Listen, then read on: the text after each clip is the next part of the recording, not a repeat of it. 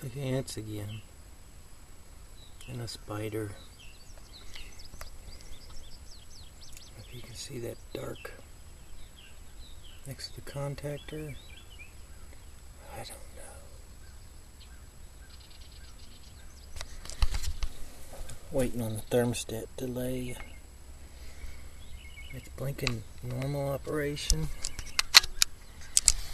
Other one's blinking normal operation. Not even sure which system we're dealing with yet, but that one doesn't have ants in it, so I'm thinking this one's got all these little, little teeny tiny baby ants.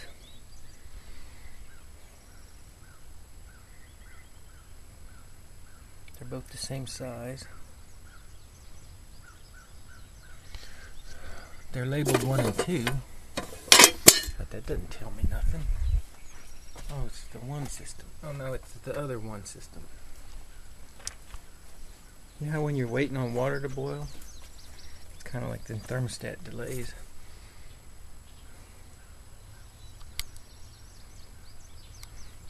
I want it to click when I'm right here so I can jump. Come on, click.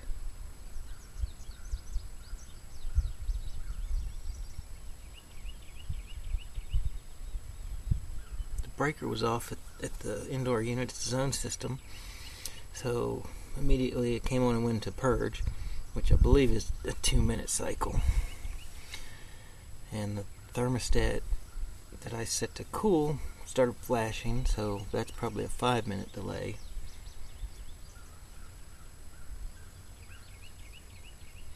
But the blower came on. Come on, come on, come on. Five minutes. Has it been five minutes? I'm looking at the time on the video. It's been two minutes. Hmm. So it should be done purging now, except I had to walk all the way outside here and take the covers off. Find my camera. Just click. It'll probably start.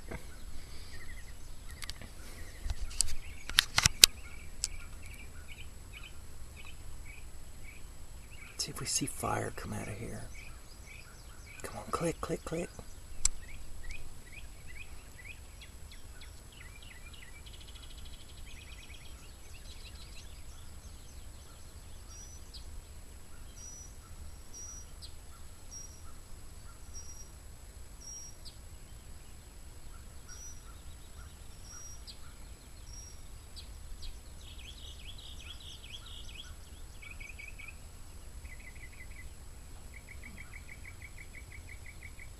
Didn't check. Maybe this thing has an auxiliary pan under it with the float switch. Certainly, it's been 45 minutes I've been standing here.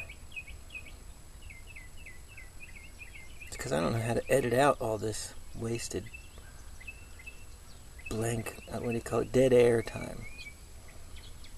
I'm not a video editor or a commentator for that matter.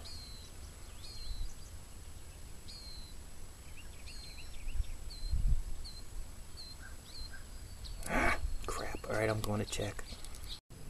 I forgot to mention this. This is a heat pump with auxiliary heat, but also an outdoor wood furnace. Uh, and I think may have to do something with the wiring for that, so we'll go to the air handler. Alright, according to the zone board, we're cooling zone 1, zone 2 is closed, the fan's on. On the equipment side, looks like Y1 is hooked to the white wire, Y2 is yellow. Somebody's already spliced in here once, so we're going to see where this equipment wiring goes. It's got to be in there.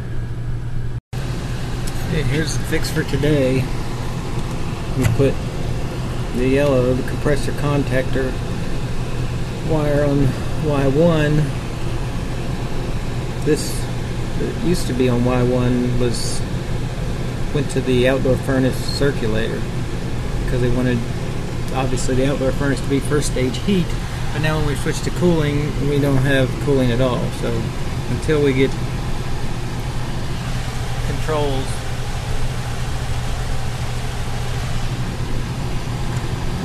clamp one thermostat for the hot water lines to switch between the furnace and the heat pump.